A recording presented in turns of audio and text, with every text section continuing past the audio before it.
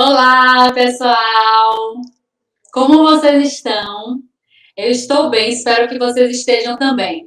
Vamos lá para mais uma aula?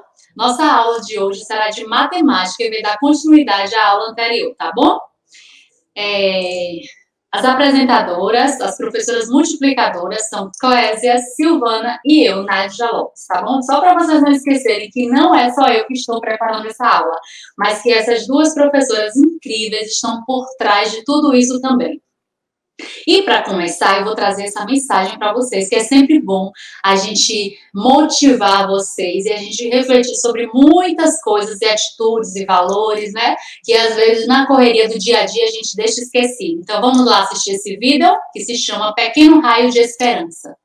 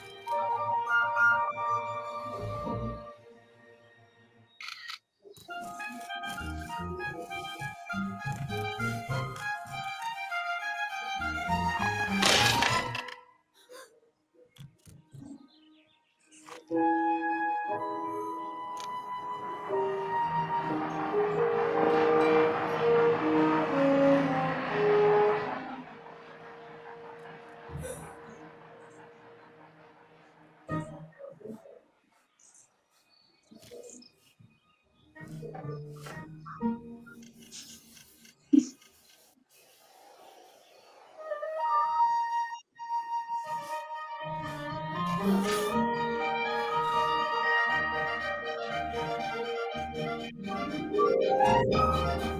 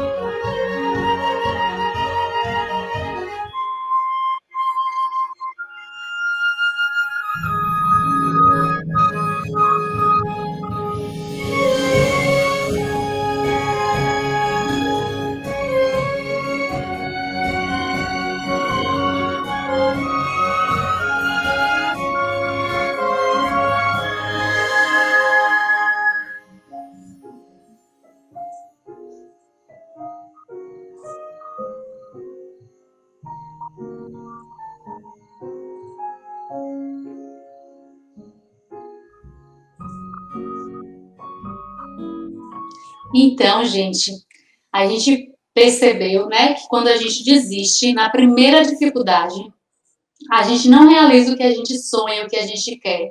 É preciso perseverança, é preciso esperança, é preciso persistir, resistir, insistir, para que a gente não é, frustre os nossos sonhos na primeira tentativa. Tem coisas na nossa vida que a gente vai ter que tentar uma, duas, três, até que um dia a gente consiga. Se a gente desistir, aí é certeza de que nada vai dar certo. Mas quando a gente tenta, a gente tem a esperança que vai conquistar.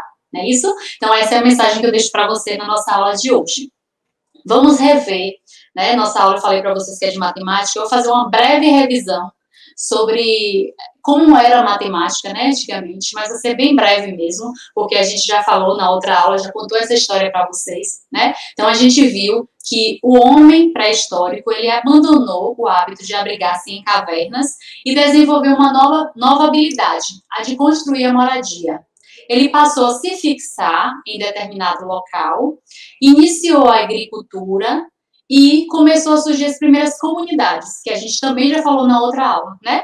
A descoberta do número, ela não aconteceu de repente. Não foi uma única pessoa que foi responsável por essa descoberta. A gente viu que cada povo, ele desenvolveu uma forma de representar as quantidades. E nos primeiros tempos da humanidade, para contar, eles usavam dedos, pedras, cordas, marcas nos ossos. O número surgiu, na verdade, com essa necessidade né, de que as pessoas tinham de contar os objetos, as suas coisas. A gente viu um pouco dessa história na outra aula, né? E aí a gente teve é, essa tabela mostra para vocês como o sistema de, de numeração ele evoluiu, ele mudou. Aí a gente tem, né, o sistema de numeração hindu, árabe, italiano e o atual, que é o nosso, um, dois, é o que a gente usa, né? Um, dois, três, quatro, cinco, representado através desses símbolos. E a gente viu também que a gente usa os números para contar, para medir, codificar, que são aqueles códigos que a gente mostrou para vocês, né, na, nos documentos, e para ordenar. Esse sistema de numeração a gente não pode esquecer, né, dessas duas características. Ele é decimal, a base é 10, a gente falou sobre isso, né? 0, 1, 2, 3, 4, 5, 6, 7, 8, 9. São nove símbolos que vão dar origem a outros números. E a base 10. É um sistema que é posicional, eu falei para vocês na outra aula, porque nós temos esses códigos 0, 1, 2, 3, 4, 5, 6, 7, 8, 9. E eles vão representar uma quantidade a depender do posicionamento que ele está. O 1, se por exemplo eu tiver um número com três algarismos, o 111. O 1 da frente, por isso que ele se chama posicional, porque o 1 da frente está representando a centena, o 100, o 100 do meio está representando a dezena, de 10 em 10, e o último, as unidades. Então, a gente viu essas duas características do nosso sistema de numeração, né? Ele ser posicional e ele ser decimal. E agora eu vou falar um pouco para vocês sobre o valor absoluto e o valor relativo do número, que tem muito a ver também com o, o é, a característica de ser posicional. Né? Então, esses números, ele vai ser, ele vai ter um valor relativo, né? Quando a posição dele, de, de acordo com a posição que ele ocupa. Por exemplo, ó, a gente tem aí é, 236. Olha esse número nessa tabela, 236. Então, a gente vai ter o valor relativo e o valor absoluto. Como é isso? O valor absoluto, ele é o valor do algarismo que ele está isolado, né? Ele é o 2, se ele estiver no meio, ele é o 2, se ele estiver no começo, ele é o 2, se ele estiver no final, o 2. E relativo é que ele vai depender da posição para ele me dizer se é 200, se é 20 ou se é 2. Então, ele pode ser absoluto e ele pode ser relativo, né? O segundo 2 da primeira ordem apresenta o valor das unidades. O segundo que é o do meio, que ele está representando as dezenas, né? E o do primeiro, né? Se ele estiver na frente, ele vai estar tá representando as centenas. Então, ele é relativo porque ele vai depender da posição. E ele é, vai ser absoluto porque se ele for o 2 estiver na frente, vai ser o 2, o 2 no meio também vai ser o 2, o 2 também vai ser o 2. Então, quando ele está isolado, é um valor absoluto. Quando ele está dentro do contexto, ele é um valor relativo. Isso é importante a gente lembrar e a gente vai trabalhar mais um pouco no, na próxima aula para a gente entender como agrupar esses números, como fazer contas com eles e a gente entender que a gente tem esses números, né, a base, 0 até 9, mas que o valor dele depende da posição que ele vai ocupar. Ele vai estar tá ocupando um valor determinado para ser absoluto e um valor determinado sendo relativo certo? Aí eu vou apresentar para vocês, a gente vai trabalhar né, com esse sistema de numeração detalhadamente. A cada aula de matemática a gente vai estudar uma classe, porque nós temos as ordens e as classes numéricas, né? Aqui a gente pode ver, ó, é, a classe das unidades, que a gente tem unidade, dezena e centena. Eu vou detalhar isso para vocês nas próximas aulas, mas hoje a gente vai conhecer essa característica geral, tá? A ordem das unidades, a gente viu ali, ó. A classe das unidades tem a primeira ordem, a segunda ordem, a terceira ordem. A classe dos milhares, temos a quinta, a sexta, a quarta, a quinta e a sexta ordem. A classe dos milhões, a sétima, oitava e nona ordem. E a classe dos bilhões, que é a décima, décima primeira e décima segunda ordem. A gente vai estudar cada classe dela, dessa separadamente e depois em conjunto para a gente entender por que, que a gente precisa é, identificar cada ordem e cada classe, tá certo? Aí hoje eu vou trabalhar com vocês, eu vou mostrar para vocês a classe das unidades, que é mais simples e mais fácil de compreender também.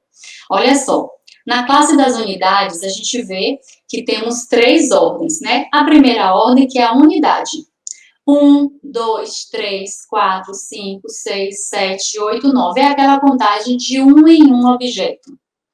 As dezenas são a, as classes, a segunda ordem, que aí a gente tem os números 10, 20, 30, 40, 50, 60, 70, 80 e 90. O nome já diz, ó, dezena. Dezena que vem de 10. Uma dezena é 10, duas dezenas são 20, três dezenas 30, quatro dezenas 40, cinco dezenas 50 e aí por diante por diante. E temos também a centena, que é a contagem de 100 em 100, que vai do 100 né, até o 900. 100, 200, 300, 400, 500. Então, uma dezena representa 100. Duas dezenas, 200. Três dezenas, 300. Quatro dezenas, 400. Cinco dezenas, 500.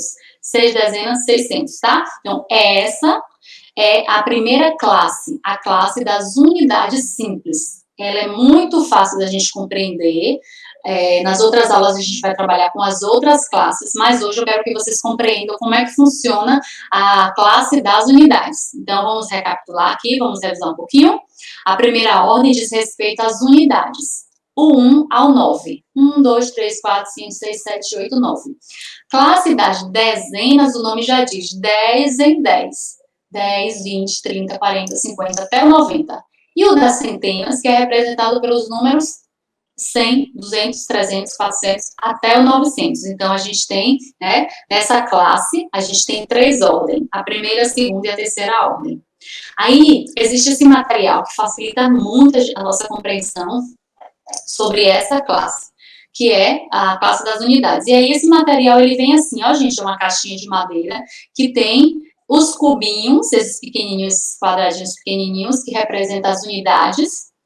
Essa barra, que representa as dezenas. E tem esse grandão, essa placa grande, que representa a centena. Então, esse material vem com um monte de cubinhos para representar as unidades. Vem com as barras das dezenas e vem com a placa das centenas.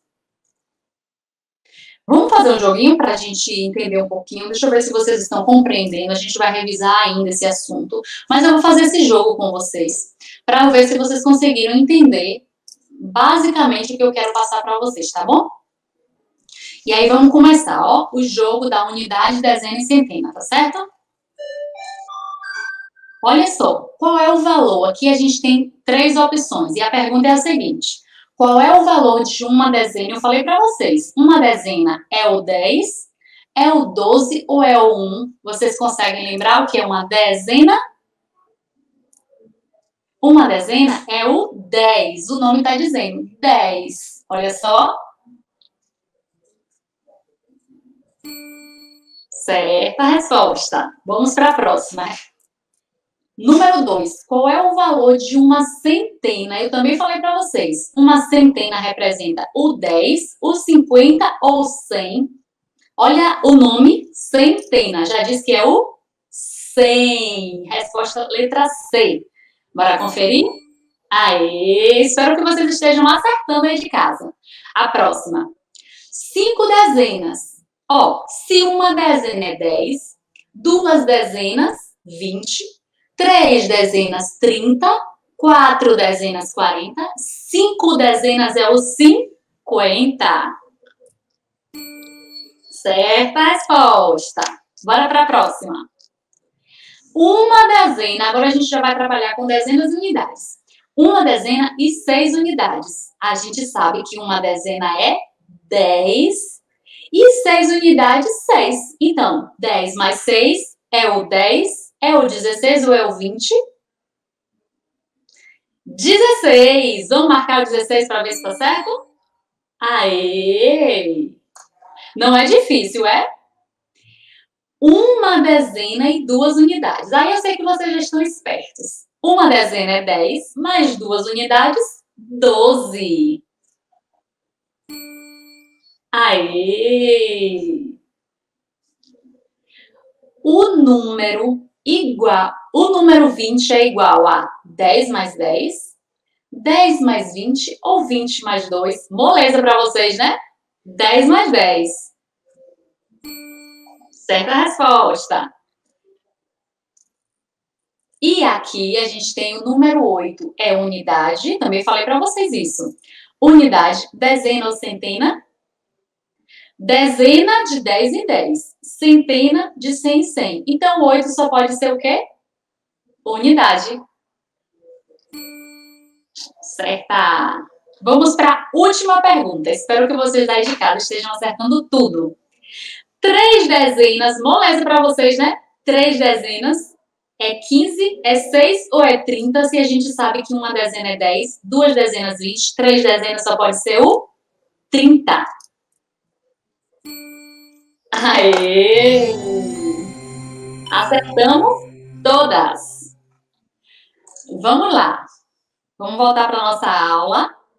Só para revisar rapidinho, né? Para vocês verem essa questão do valor absoluto. Só uma revisãozinha rápida. O valor relativo é definido de acordo com a posição que ele ocupa. E o valor absoluto é o valor do algarismo. Então, esse algarismo isolado é, vai ser 2, e para ele ser relativo, ele vai depender da posição que ele ocupa, né? Vimos também as classes das unidades, que a gente trabalhou com a unidade a centena, a unidade dezena e a centena. Mostrei para vocês o material dourado e me despeço é, de vocês por hoje. Nas próximas aulas a gente continua esse trabalho com o sistema de numeração. Vamos passar algumas atividades para vocês estarem respondendo aí na escola. E qualquer dúvida, procure o professor de vocês e a gente vai aprofundando esse conhecimento nas próximas aulas, tá bem? Um beijo para vocês e até a próxima semana.